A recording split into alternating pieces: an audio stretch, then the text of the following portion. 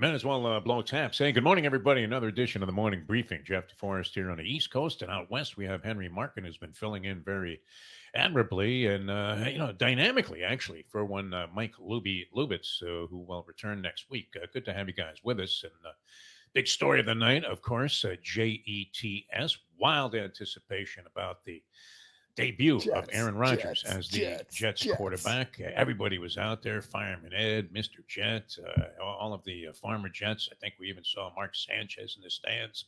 That they might have even allowed Rich Kotite to hang around uh, at the stadium. But uh, we've been talking about this uh, for a long, long time on the many shows that I've done, and, and here uh, briefly on the morning briefing uh, about uh, teams that operate, players that operate, situations that happen and have to deal with the dark cloud of an overwhelming curse. And we will illustrate that in just a few minutes. But before we do, Henry, I have to get to something that we touched on yesterday. And you would understand this when uh, something uh, just uh, triggers a firestorm of negativity on social media. And I got literally hammered uh, yesterday for even suggesting, implying for a second. And th- this was not judgmental in any way. Uh, look, uh, I have a little yarmulke going in the back here, too. It's not like uh, I don't look like I'm getting ready for another bar mitzvah at uh, 72 years old, but uh, you know, so uh, a very sensitive topic, uh, hair replacement. And I, I mentioned that, that I thought I detected that Joe Namath, oddly, uh, one of my heroes, was wearing a hairpiece on the ESPN game day show that he appeared on. And everybody loves seeing Joe Willie. Look, uh, he's a likable character. You get kind of a good feeling about it when you see this guy. He was a rock and roll quarterback before it was uh, in vogue, doing things that nobody else, wearing the fur coat and the long hair and the white shoes. And he had the swagger. He guaranteed the victory. Super Bowl three. Nobody thought he could do it, right? 17 and a half point underdogs to the great, the great Don Shula. Right, you can hear the NFL music uh, once again in the background. And this team of scrubs, they they go in there with Joe Willie and, and they beat the Baltimore Colts, uh, deemed to be at the time, uh, which uh, is a very popular opinion, depending on uh, what year it is. But uh, that particular year, nobody thought anybody could beat the Baltimore Colts at anything, not, not even at cornhole. I mean, uh, what, whatever the Colts were involved in, they were going to win. So I, I love Joe Namath, a- and, yet uh, I suggested that he might have been wearing a hairpiece. You were non-judgmental on this, so you stayed out of the argument, which is Mhm. probably because of your familiarity with how cruel, how evil, uh, how attacking social media can be. A- And, I even got a letter from Sy Sperling, the uh, guy that does the Hair Club for Men, saying that uh, you know what what kind of horrible opinion was this? I, I didn't have an opinion on it. We, we were trying to settle a bet. That's all we were doing on the show yesterday a- hairpiece, fine. Wear whatever you want. I don't care how you go outside. You want to put lipstick uh, on your nose? That, that that's okay with me. But uh, I, I couldn't believe. I mean, just the venom that that was coming my way on social media. So I, I wanted to just clear the air right here at the top of the morning briefing and say. No judgment whatsoever. I am not Judge Judy sitting here trying to uh, render opinion on what people should do and how they should live their lives we're- just sports commentators. And uh, this, unfortunately, came up as a wager I had with a friend of mine who's also a big Joe Namath fan and has met him personally, as I have. And uh, I, I- didn't understand. I mean, uh, just, just the outrage that, that, that uh, to quote the great Tony Bruno, the outrage that was sparked by the mere suggestion that uh, Joe Namath might have been wearing a piece on ESPN. I still think he was. And uh, to Mo Schwartz, who is the uh, president of the International Society for Hair Replacement, I am not responding to any of the social media posts that uh, you had uh, that involved my name and, and this bizarre suggestion. So, so that's where we started with the Jets yesterday. Right. Yeah. And then I, I I don't know, Henry. There, there couldn't have been a single sports fan that wasn't uh, sitting in, in wild anticipation of this Aaron Rodgers debut, which uh, he comes out on the field there after Buffalo's first possession in the ball game, and you, would have thought it was Pavarotti taking the stage at the Metropolitan Opera. It, it was uh, Clapton getting up there at Royal Albert Hall with his buddies from Cream uh, for the reunion. Uh, you you couldn't have had a more spectacular scene and uh, you know more more excitement in the air about Aaron Rodgers' debut as a New York Jet in front of the Jet fans at MetLife Stadium. And uh, you, you can have all the sabermetrics, all the analytics, all the conversation, all the paralysis by analysis of the talk shows and debates, and you can have Skip Bayless and Stephen A. Smith, and they're screaming and yelling, "This isn't going to do anything for the Jets." We don't know, A- and unfortunately, It looks like well, we we won't find out. Uh, not this year uh, anyway, which is really sad. That because uh, I, I wanted to see what would happen. Now, now I, I grew up as a, a Jet fan. My first uh, football team of any great interest was the Jets. Uh, I mentioned this a couple of times here on the show. Uh, mm-hmm. I was a vendor at Shea Stadium uh, circa 1964 is when I started. 1965, and, and, and the Jets weren't very good, but they drafted Joe Willie, and even if he was throwing six picks against the Denver Broncos, well, we still loved it. We, we, thought the Jets were in there with a fighting chance. They, they had some really good players. Many people thought that the American Football League was vastly inferior to the big bad boys of the National Football League. We will run the ball down your throat. And here's this pass happy league that everybody loved because uh, if you were playing touch football in the streets or in the sandlots at that time, you loved the approach of the American Football League. Never mind this boring shit of handing the ball off to uh, uh, some guy uh, like like Frank Gifford who's going to run three yards up the middle. Uh, you wanted to see him just slinging it. You wanted the snakes, Kenny Stabler. You, you wanted Joe Namath. You wanted all of these uh, great quarterbacks that were throwing a rock in the American Football League. And, finally, that was brought about. And, and think about it. it. You've had so much peril if you were a Jets fan over the years, uh, to the point of just clown like decisions uh, being the ruination of the franchise. And uh, is that how a curse eventually becomes implemented? I mean, we've had some famous ones. The Bambino, of course. Guy sells uh, the Bambino to the Yankees so he can raise enough money to put on a failed Broadway show. Henry Frazee, I believe, was the man's name with the Boston Red Sox. And, uh, you know, that turned out to be a very bad decision. Cursed him for like 100 years. It, it was incredible. Cursed of the Billy Goat with the Cubs. Finally, they were able to uh, dissolve that and work their way through it and uh, win a world championship. I, I, don't know when they win another one, but that was good enough for a lot of people to consider that they had broken the curse. Um, I, a little bit on a minor level. I don't know if you're familiar with the reporter Rachel Nichols. Was doing a lot of mm-hmm. basketball shows on ESPN, and I think she's got other affiliations now after uh, somewhat, uh, you know, tense uh, and acrimonious parting with the network. Many years there, uh, does a good job in general, but unfortunately, every star basketball player that she sat down with uh, for one of those fawning interviews, oh, LeBron, you're so great. Uh, I mean, met with an ill fate shortly thereafter. They, they would uh, be sitting with Rachel Nichols one day, and the next day you would see the guy with a boot on on crutches watching the layup drill from the sidelines as they announced that he was out for the season. It was an unfortunate uh, occurrence that, that happened frequently enough to make me believe, anyway, you know, and I'm a believer in the occult, that there was some kind of curse in play as this was taking place. But but the offseason with Aaron Rodgers, I, it was spectacular. And, and you're asking yourself, what what could go wrong for this guy? Uh, you know, uh, first couple of snaps there, he gave the uh, first play hands off to Breece Hall, who had just come back from an injury himself, and uh, he, he, takes off 25 yards uh, towards the sideline. And uh, you're absolutely crazy. You're just going nuts here in celebration. And then Rodgers drops back to pass. And I, I don't, I don't know Oh, did they send the, the rabbi and the priest from the sidelines in to attack him, the Buffalo Bills, as McDermott was determined uh, to have some kind of pressure on Aaron Rodgers? Either that or, or the Jets' offensive line is as bad as people anticipated and maybe even worse. Where was uh, Mekhi Becton, by the way? I mean, he, he was uh, out there. He's running out on pass patterns as uh, the right tackle for the uh, New York Jets. Uh, so, so, you know, it, it was kind of an ominous start Rodgers on his first drop back, uh, you know, he's about to get sacked and he fires a, a weird looking pass out of bounds. Uh, the next time he gets the ball uh, and drops back to pass, he does get sacked. And it was one of those strange things where uh, you're saying, oh, what happened here? How, how, how did he hurt himself? Because you didn't see his ankle roll over. Right. And as sportscasters, you know, we're often asked to be uh, medical personnel. And I believe I sent you a text right after that saying uh, that that has to be an Achilles injury. Yep. It's the only thing that could cause him to have to be carted off the field later on after an examination. You didn't see any excruciating pain come from that. Uh, you're thinking an Achilles snaps. It's yeah, yeah fuck. But uh, he just kind of sat down, uh, resigned to the idea that maybe something uh, negative had happened. The announcers originally said that the word from the team was he, he might have injured an ankle, and uh, the the worst of our fears uh, came to fruition there where it, it turns out, it, looks like anyway, an MRI is expected to confirm today what we don't know. And uh, maybe, you know, there, there's reason to be optimistic because I'd really like to see this guy. I don't know about you. I mean, don't you want to see what he would be capable of doing with the Jets? Oh yeah. This is Reggie oh, yeah. coming to the Yankees. This is Gary Carter coming to the Mets after being with the Expos all of those miserable years. Uh, that, that's uh, you know Messier coming to the Rangers to get them their only Stanley Cup in the last since the Gump was playing. Uh, this, this was another veteran player coming to New York to come in as a savior, and you actually thought that, that there was a strong possibility it could work.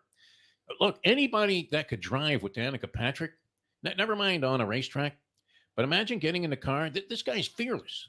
He got in the car with Danica Patrick and drove around town when, when they were uh, going out together in Green Bay. Danica Patrick, who never went, I mean, the over under on number of laps before she crashed her car when she was driving in NASCAR was uh, usually something in single digits, wasn't it?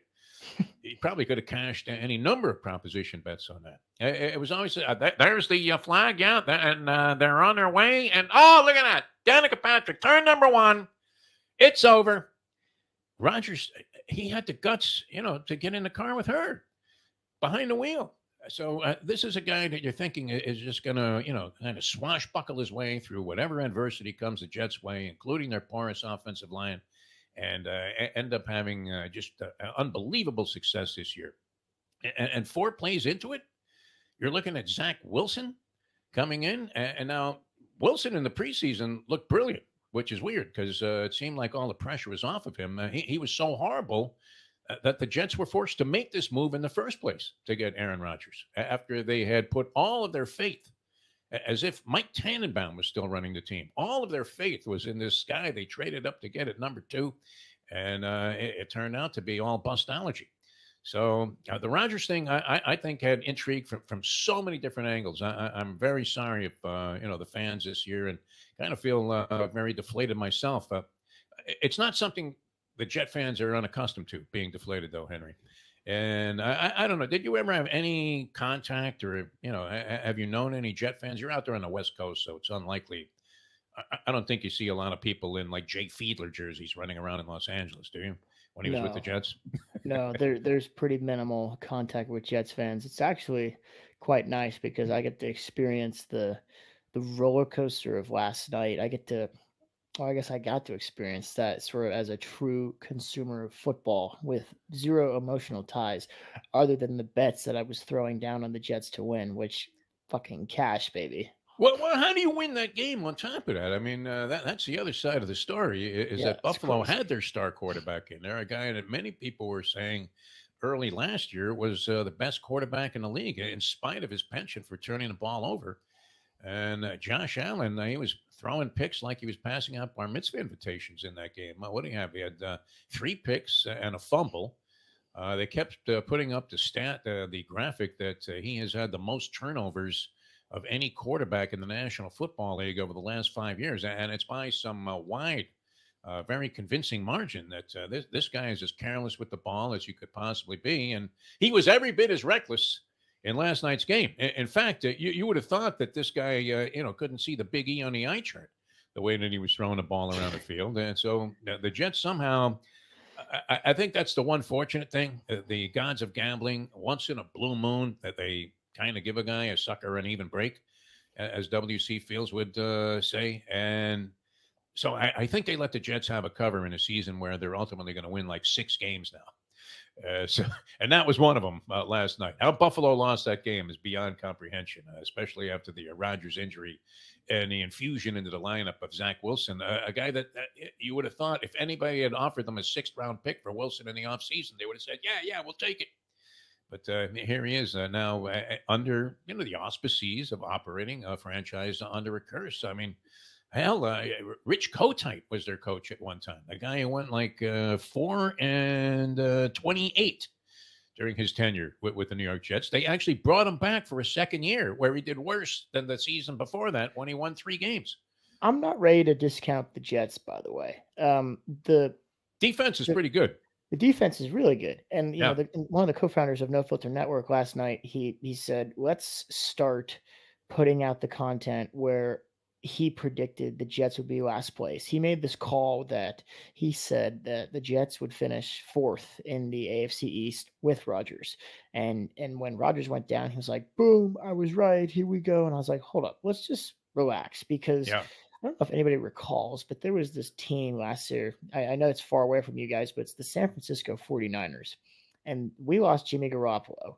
Right. And we, we had every other piece, including this fabulous defense. And then we had Brock Purdy come in, Mr. Irrelevant. Everyone's Mr. Like, Irrelevant. Yes. Everyone's like, we're fucked. It's it's toast.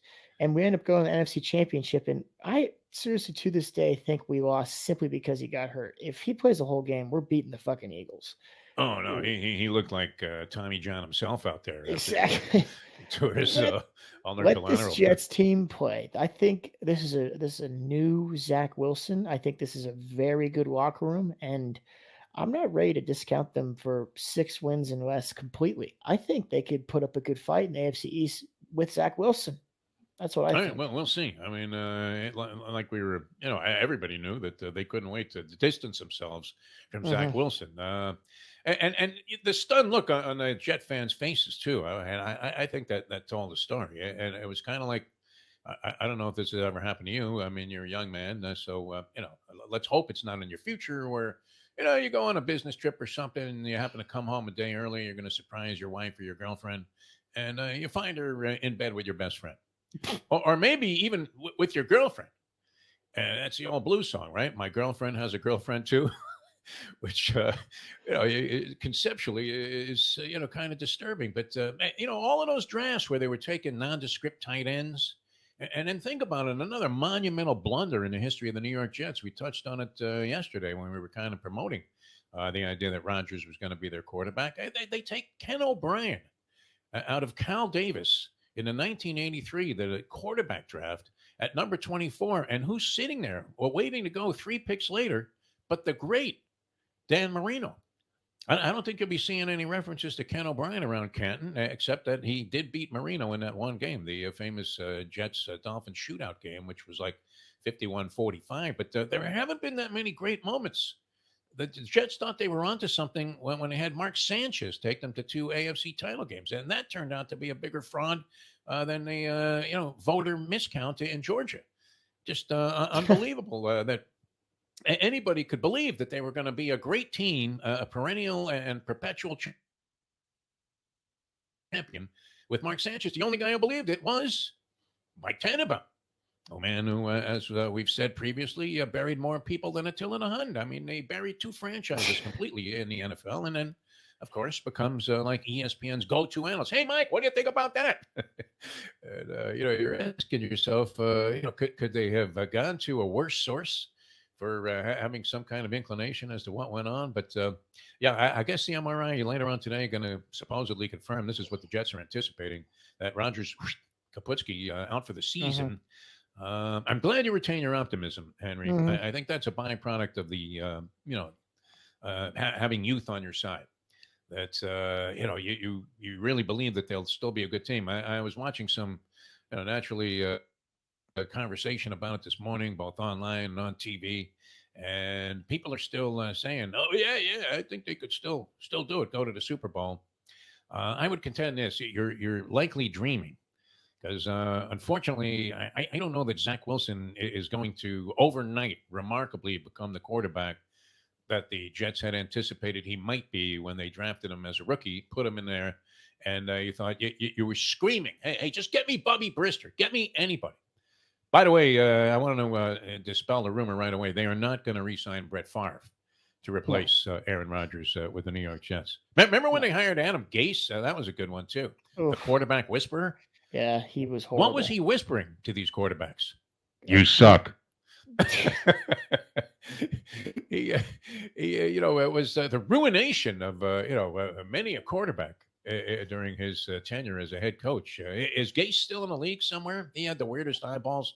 I, I, doubt you're familiar with the actor from many years ago, Marty Feldman. He had these giant eyeballs. That was like his characteristic uh, that that most strongly stood out, even though he was a good actor. Gase had those same crazed eyeballs, and and who knew he was bald, right? That was the, the other thing. He took the hat off and. Here we come with the hair issues again. Uh, that's that's. I don't want to. I don't want to start that whole uh, ugly uh, uh line of uh, uh, thought that was and the threads that were going on social media. I, am glad you deleted a lot of the stuff there on the no filter site that, that, people were saying about those comments from yesterday. But yeah, yeah, just um, an horrendous start. uh, for the uh, New York Jets of the season. Very deflating. I, I really believe it was very deflating for people that watch football and are football fans uh, in general, because uh, th- this was about as interesting a question as you could have created. If you look at sports sometimes as part soap opera, could you have set up a, a better set of circumstances than to have Aaron Rodgers with a Jet team that had some promise, both sides of the ball, some very talented young players. Is uh, Wilson? Oh, wow! I mean, uh, what what a catch he makes there uh, for what turned out to be, you know, I mean, they they they got back into the game with that touchdown, and you know, you're, asking yourself, how, the hell are the Jets still in this game? But uh, again, two nights in a row, right? Euphoria of the win, I guess, overcame the immediate impact of the fact that everything that you had built your season upon seemed to go out the window within four snaps. Mm-hmm. And you know, all of that talk about Aaron Rodgers. How, how, many times did you get engaged in conversations on shows or whatever about Aaron Rodgers and uh, what could he have done for the Jets and what's he going to do when he gets there? I, I, thought after that first pass rush uh, went against him that he probably wished, you know, that, that somebody on the sidelines could hand him a handful of mushrooms so he could get through the rest of the game. But right. turned out he didn't have to uh, deal with that. But um, all, all, of that became very Shakespearean, did it not? Speaking of the drama of sports, it, it turned out to be much ado about nothing in, in, the long run. All of those conversations that we had during the off season, and uh, uh, very, very unfortunate last night. But um, interesting. Uh, could you get any more interesting in the first week of the NFL season? And, and the continuation of the just absolute uh, I mean, just crushing uh, defeats uh, that are taking place in New York. Um, very, very disturbing, uh, especially as they were commemorating 9 11 and did it in such a, a resonating and, great fashion. All of that drama was set up only to have the air come right out of the balloon there and whoosh, straight down to earth. That, uh, hey, we're back in there with Zach again. Again, carrying uh carrying the people out of MetLife Stadium in body bags, so with their hopes and dreams just absolutely shattered. As uh, Rodgers likely be announced today out for the season. Pretty good job at diagnosing that, though, huh, uh, Henry? What, what did you think? Oh my god, you, you, were you were so quick. You were like, I mean, you pretty much had a field pass. You saw that shit right away, and you, if it's true, I mean, I think you found your new calling. I think the 72 years young, you could go back to med school and just get sports medicine right in right in for your next. next Science was, was, not a strong point for me. Uh, it was the reason that I uh, dated the redheaded you know girl with the freckles, which wasn't a popular right. thing uh, when I was a young man, and uh, you know, uh, she was going to ace every science test. And once you were in her good graces, there was a mm. possibility she might just move that elbow a little bit so you could see some of the answers right. as you were sitting behind right. her class. Other than that, uh, no, not, not very good at that. Although I could have been Dr. Frank Jobe last night uh, with, with, that diagnosis because uh, I, I, just couldn't see anything. You, you know, when you see a basketball player and he steps on some guy's foot when he's going up for a rebound and, and you're watching, uh, how far did the ankle roll? And having done it many times, I'm sure uh, a lot of you have. You know, you're playing ball somewhere, or uh, you know, just even accidentally step on something sideways off the curb, and the ankle rolls, and that's it. it it's going to be at least a couple of weeks, no matter how young and, and quickly uh, you recuperate. Uh, you are uh, you um, you know you, you, know you're done. But uh, I didn't see any of that when, when I was watching the replay. I, am looking, going, wait a minute, he, he, didn't really roll an ankle there. This has to be something else. And sure enough, uh, you know eh, the, the severity of it being that he had to be carted back to the locker room made you think that, that's it. It's the old Achilles heel, which the Achilles heel for the New York Jets they're operating under a curse. I, I, I think it's fairly clear at this point. I, am glad you retained your optimism, Henry. And uh, you're thinking, okay, it won't be so bad. Many people are speculating that. Um, when, when, your one biggest problem uh, that you uh, went out and, and, went to great extremes to solve, all of a sudden is the uh, very same thing that you were now counting on to take a team that had the same promise last year as they did this year except for the fact that what they had bozoic play at quarterback. So they tried to solve that problem in a big way. Uh, they dealt away uh, quite a few draft picks uh, to the Green Bay Packers, even though the Packers appeared to have little or no leverage in this uh, transaction. And unfortunately, it goes down uh, in uh, week number one. Four plays in, Aaron Rodgers done. All right. Uh, yeah. Hopefully, better things to talk about tomorrow uh, on the program here. That that was very unfortunate. Uh, people were reveling in the injury. I, I, I, find that to be in very poor taste, uh, even on an outlet like No Filter, uh, where you're celebrating. It's kind of like the Philadelphia fans when Michael Irvin was laying in the middle of the field there, and they're cheering that the guy, you know, could potentially be seriously injured. But those are the same fans in Philadelphia that and also booed Darren Daulton's son when he was hitting somewhere around the Mendoza line at a father and son game. His two year old kid comes out on the field, and the Philly fans are, hey, you suck, Daulton," which I thought was also, uh, you know, possibly uh, on the fringe of uh, being in bad taste. But uh, yeah, the people that are reveling in the uh, Rodgers uh, injury because they hate the Jets, definitely misguided, but not necessarily.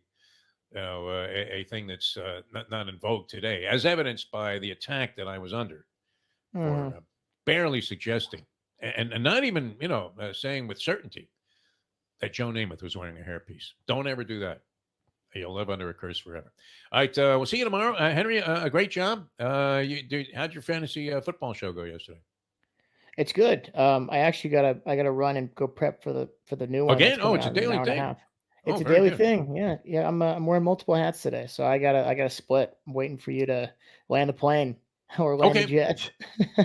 I'm, I'm, bringing it down right now here. Um, I, and if you drafted Aaron Rodgers with your first pick, uh, where, where are you at with that in the fantasy world? Oof, bad. Yeah, nobody did yeah. that. I hope, but if you even have them, it's just ugh, tough sledding. Yeah, no doubt about it. All right. Uh, we'll see you guys tomorrow. Thanks so much for tuning in. For uh, Henry Mark and uh, I'm Jeff DeForest. Thanks for uh, watching this edition of the Morning Briefing.